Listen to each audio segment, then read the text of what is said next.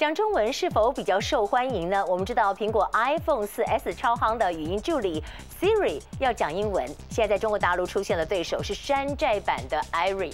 Iri 不但能够用中文对答，Android 手机用户免费下载已经破十万，比 Siri 还要多。不过呢，Iri 它没有 Siri 聪明，你问他天气或者是说时间这些生活琐碎，他会说呢，你自己上网查。我们来看看我们试玩的这个内容。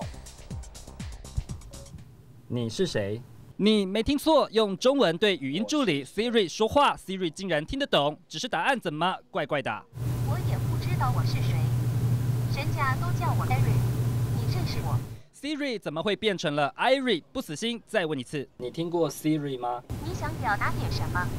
点击我来交来告诉我。这回自称 Iri 的手机语音助理，干脆直接放弃。看仔细，手里拿的根本不是 iPhone 4S，而是 Android 的手机。而这 Iri 其实是大陆贵州大学九名大学生研发的山寨版 Siri。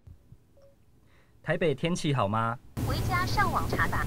和正牌的 iPhone 4S 语音助理 Siri 比一比，山寨版 Iri 虽然提供让 Android 的用户可以免费下载，还能听得懂中文，内建的妙问妙答立刻让下载人次破十万。只是 Siri 有求必应，Iri 恐怕没那么行。现在几点了？自己不管是问几点钟，还是查天气，Iri 都要手机主人自求多福。尽管 Iri 中文比 Siri 好，却只能跟你刷刷嘴皮，不能真的当你的行动助理啦。东森财经新闻叶九龙吴全元综合报道。